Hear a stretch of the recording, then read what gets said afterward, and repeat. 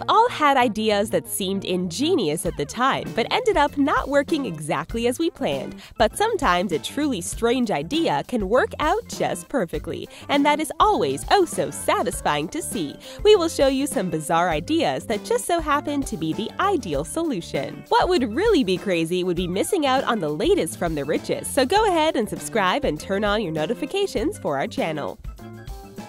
Mayonnaise Power when it comes to problems that need solutions, having 1,250 pounds of spoiled mayonnaise is both an unusual and oddly intriguing problem to have. It's an issue that Michigan State University had to contend with when freezing temperatures compromised their 500 containers of mayonnaise, each holding 2.5 gallons. Students began complaining about the mayonnaise, and inexplicably, the school tried to pass off the mayo to the local food bank, who wisely turned it down. Rather than throwing it away, the school sustainability officer, Carla Iansiti, decided to make the best of a bad situation by making some energy out of some bad mayonnaise. That's right, he poured all of that mayo into the school's anaerobic digester. This device was used to power some farms near the campus.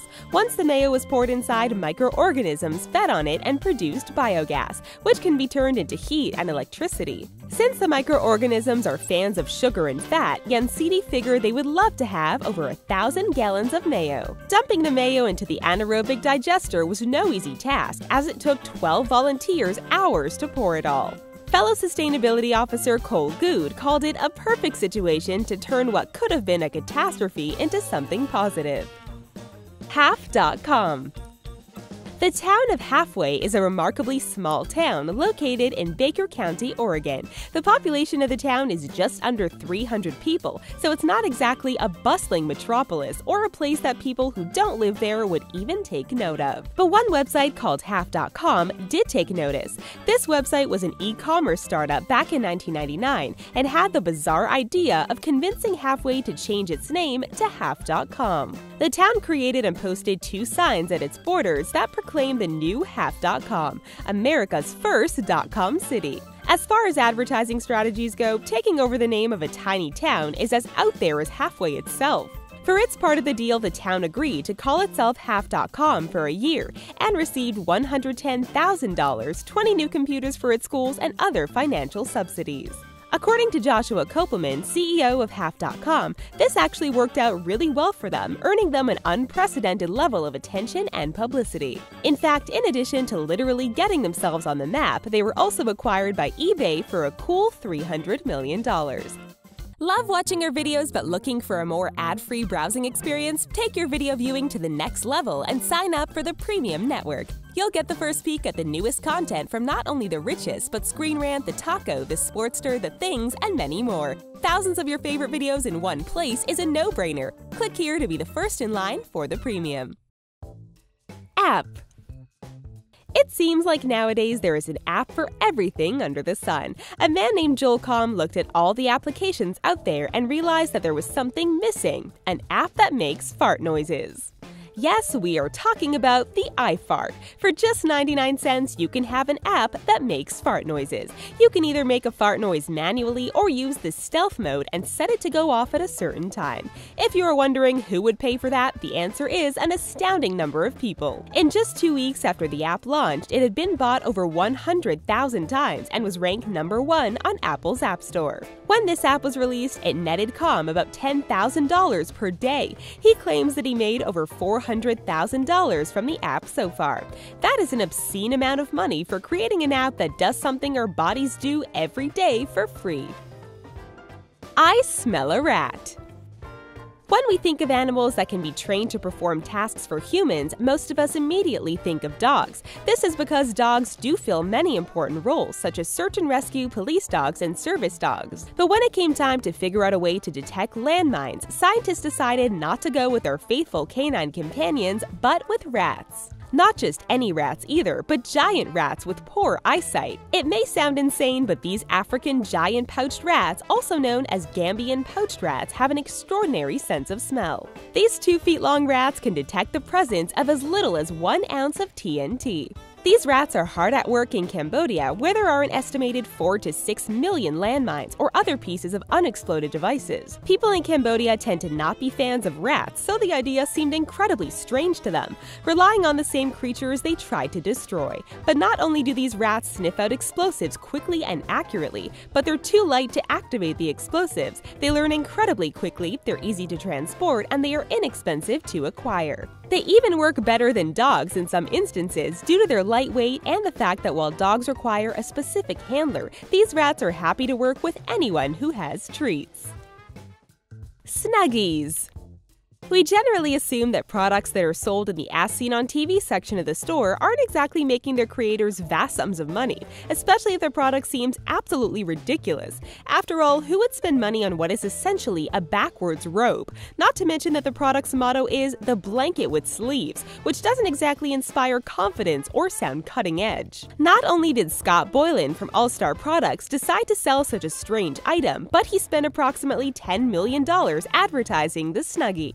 This might seem like a poor business decision, but in its first year on the market, over 20 million Snuggies were sold. These backwards robes have generated hundreds of millions of dollars in sales and have been discussed by famous talk show hosts such as Jay Leno and Ellen DeGeneres, further creating buzz about Snuggies. Most of us have laughed at the ridiculous, cheesy Snuggie commercials, but Scott Boilen is laughing all the way to the bank. It's time for our trivia question. When we think of inventions we can't believe anyone purchased, one big one is the Pet Rock. They were created by Gary Dahl and were sold for $3.95 a piece. Just how how much money did his strange assumption that people would pay for a rock earn him? We'll tell you at the end of the video.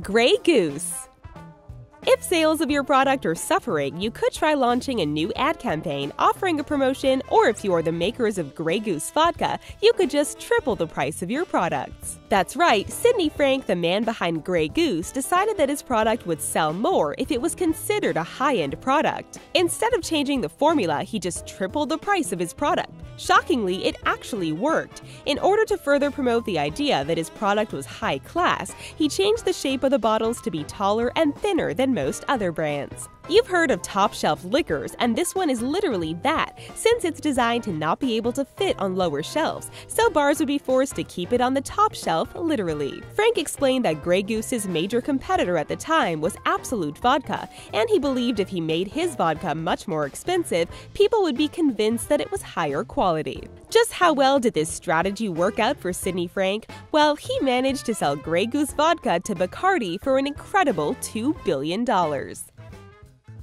Preventing scurvy.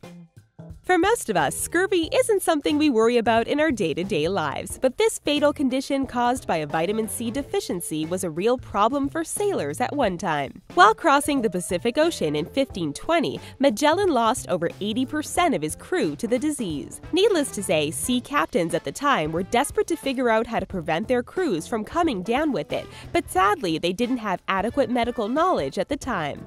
Captain James Cook was a British explorer and accomplished captain. Cook was experimenting with different food and living conditions to try to best reduce the chance of scurvy when he noticed that Spanish ships carrying sauerkraut didn't seem to be afflicted with scurvy. The strange part isn't that Cook began incorporating sauerkraut on his own voyages, but that he decided to trick his crew into eating it. He knew that they would turn up their noses at the pickled cabbage, so he made it an officer's only treat and would eat loads of it with his fellow officers at meals meals. Soon his crew was begging to be allowed to eat it, and in his endless generosity, Cook allowed them to have some for their own meals. Baggage claim. Humans hate waiting for things, especially in today's world of instant gratification. One airport in Houston, Texas faced quite a customer relations issue at one time. They received a constant deluge of complaints about the long waits at baggage claim. At first, the airport simply arranged for more baggage handlers to work the area, dropping the average wait time to 8 minutes, which is standard at most airports. However, this did nothing to stop the complaints, so the airport had to come up with a new strategy. They analyzed the situation and discovered that baggage claim was located approximately one minute away from the arrival gate, and once passengers reached baggage claim, they waited seven minutes to get their bags. Instead of trying to reduce the wait time further, the airport simply moved baggage claims six times further away. This way, total time spent to get bags was the same, but people were more inconvenienced by having to travel further. However, in their minds, they didn't have to wait as long, so the complaints about waiting too long at baggage claim completely ceased. Buddha not litter. Concerned citizen Dan Stevenson thought it would take an absolute miracle to stop the seemingly endless barrage of graffiti, littering, and other crimes in his Oakland, California neighborhood. Despite not being a Buddhist or even following any sort of organized religion, he installed a two foot high stone Buddha on a medium strip. The simple Buddha was purchased from a mystical place known as Ace Hardware, and Stevenson hoped it would bring a little bit of tranquility to the area. Shockingly enough, it actually worked. People of all races and creeds even began to leave offerings at the statue and meted it for prayers. Since it was installed, crime has dropped by 82%. Robberies, aggravated assaults, burglaries, and more all decreased dramatically in number of occurrences. One would be thief attempted to steal the Buddha, but thankfully Stevenson had secured him with a reinforced iron bar and some epoxy. A single resident complaint prompted the Public Works Department to threaten its removal, but there was such a savage and immediate outcry from the citizens they thought better of it. Drought Solution it's no secret that California is experiencing a major drought, so you would think that every drop of water would be precious. Well, people in Los Angeles dropped 96 million 4 inch black plastic balls into their 175 acre reservoir. During the worst drought in the entire history of California, these people turned their reservoir into a giant ball pit under the supervision of their mayor, Eric Garcetti. This was a strange plan of the Los Angeles Department of Water and Power, who hope that the balls will shade and cool the water. Not only will this reduce evaporation, but it will also make it less susceptible to algae, bacterial growth, and potentially harmful chemical reactions. Although the balls cost just 36 cents each, there are so many of them that the total cost was $34.5 million.